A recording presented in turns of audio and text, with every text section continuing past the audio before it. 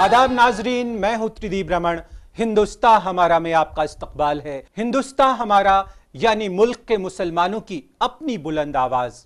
इस हफ़्ते हम अपने पिटारे में लेकर आए हैं बहुत कुछ खास। नाजरीन, मैं हूँ साइमा। मेरा भी अदाब कबूल करें। मुसलमानों की आवाज़ को बुलंद कर, उनकी बात और उनके जज्बात से दुनिया को रूबरू कराना ही हमारे शो का मकसद है। क्योंकि हमने सुनी है उन खामोश लबों की चुप दास्तां।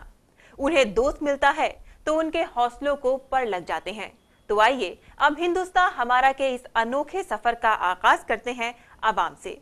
आज के एपिसोड में हम पेश कर रहे हैं गयूर की कहानी। ये कहानी आप हम सभी की तो है।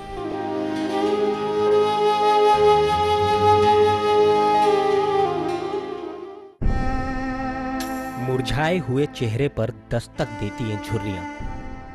गयूर के उस सफ़र की गवाह हैं, जिसने इन्हें अपना घर छोड़ने पर मजबूर कर दिया था। गाँव में बेरोजगारी और तंगहाली से परेशान गयूर रोज़गार की तलाश में 25 साल पहले उत्तर प्रदेश के बदायूं से दिल्ली आया था।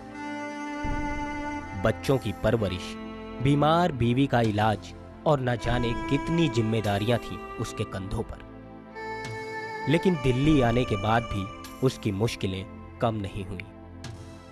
पढ़े लिखे और बेहतर कारीगर होने के नाते गयूर के लिए कंपनियों से बुलावे तो आते थे, लेकिन काम नहीं मिल पाता था।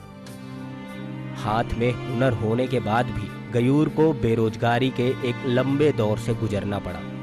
गयूर का मानना है कि नौकरी में रुकावट की वजह थी उसका मुसलमान होना। मज़हब के नाम की वजह से हमारे नाम की वजह से ही हमें नौकरी नहीं मिलती। गयूर को सिर्फ़ रोज़गार हासिल करने के लिए ही नहीं बल्कि उसकी बीवी के इलाज के वक्त भी मजहबी तासुब का शिकार होना पड़ा।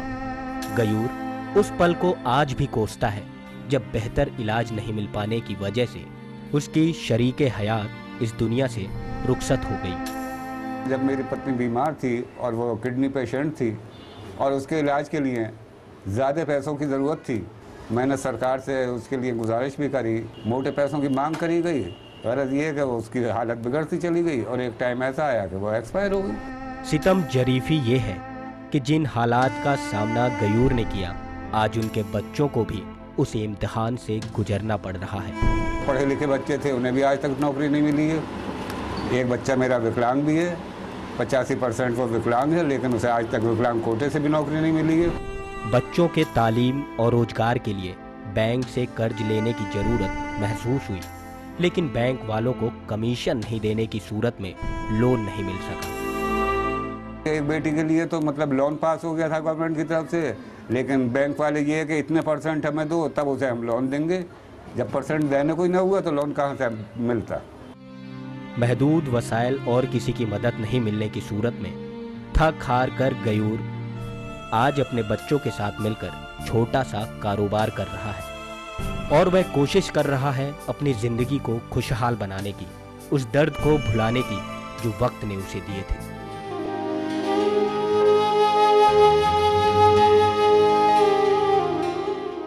गयूर की दास्ता बयानी के बाद अब वक्त है हमारी बात का।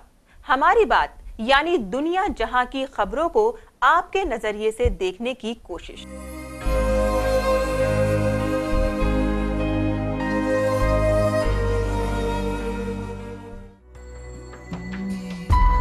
अलीगढ़ मुस्लिम यूनिवर्सिटी का माहौल इन दिनों बदला बदला सा नज़र आ रहा है। वजह, यूनिवर्सिटी में आए नए वाइस चांसलर और यूनिवर्सिटी को नंबर वन बनाने का उनका ऐलान है। I have two priorities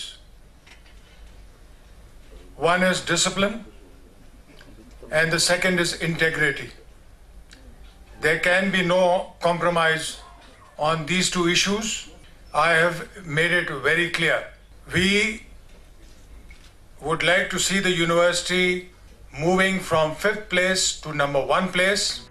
University के तलबा से लेकर एएमयू से लगाव रखने वाले लोगों के अंदर इन दिनों एक नई उम्मीद नज़र आ रही है।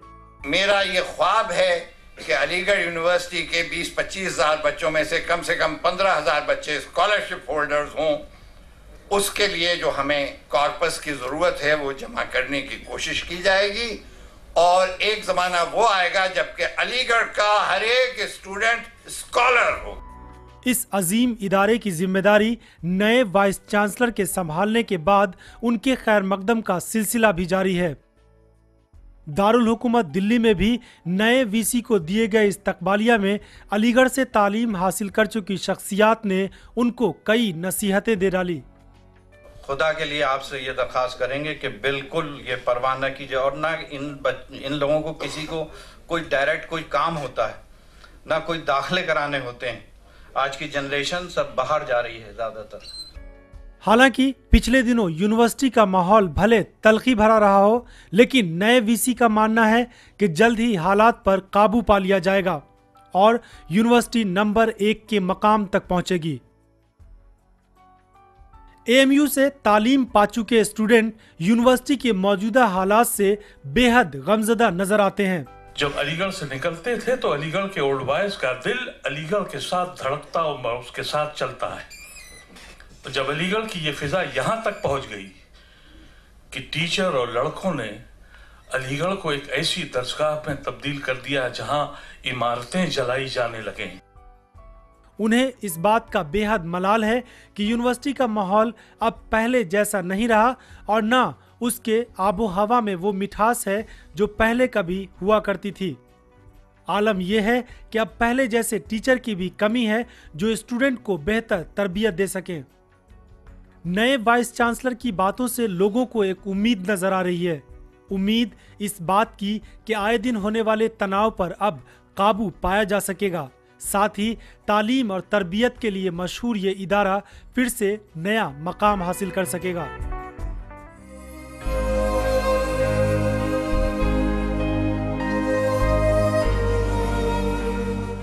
हमारी बात के बाद अब वक्त हो चला है एक छोटे से ब्रेक का पर आप कहीं मत जाइएगा क्योंकि ब्रेक के बाद हम पेश करने वाले हैं मकाम। मकाम यानी दास्ता बयानी वैसे लोगों की जो अपनी ज़िंदगी की दरो दीवार पर चश्मा कर देते हैं। कुछ ऐसी तस्वीरें जो देखने वालों के मन में न सिर्फ़ एक नया हौसला भरती है, बल्कि उन्हें जीने का एक नया मकसद भी देती है। मकाम में हम आज आपको दिखाएँगे मुल्क की जानी मानी हस्ती, मोहतरमा सैदा सैदेन हमीद की ज़िंदगी के हासिल मकाम की असली तस्वीर। पर इसके लिए आपको करना होगा थोड़ा सा इंतज़ार, हम लौट कर आते हैं पल दो पल में। महज नौ साल की उम्र में ही एक किताब लिखने की सलाहियत रखने वाली लड़की की जहानत का अंदाज़ा बखूबी लगाया जा सकता है। कश्मीर के एक रोशन ख्याल घराने में पैदा हुई सईदा हमीद। चार बहनों में सबसे छोटी और जहीन थी।